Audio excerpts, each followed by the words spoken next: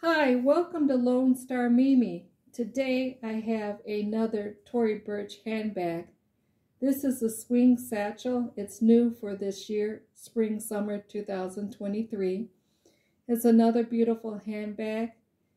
Um, I also reviewed the, the same handbag in Optic White.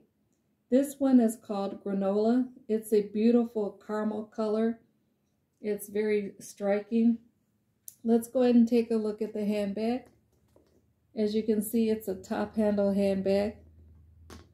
Smooth leather. Has this beautiful um, detail right there. Let's go ahead and take a look inside. It has a spacious compartment, a back pocket here, zip compartment right here. It's a nice size compartment.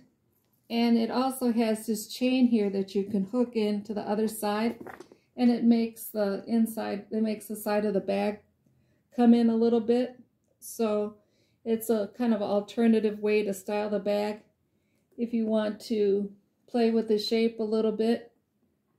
I do have a short video showing how it looks when the sides of the bag is pulled in with the optic white satchel. This is another beautiful handbag by Tory Burch.